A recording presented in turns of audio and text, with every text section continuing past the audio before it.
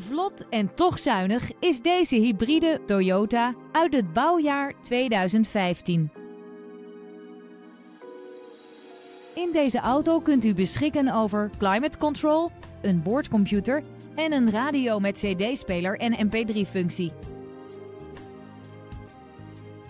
Voorzieningen als Dynamic Stability Control, LED-dagrijverlichting en Traction Control helpen u om elke rit tot een veilige rit te maken.